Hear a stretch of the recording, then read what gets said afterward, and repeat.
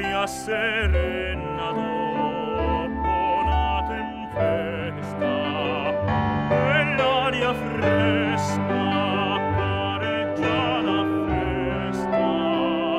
Che bella cosa la giornata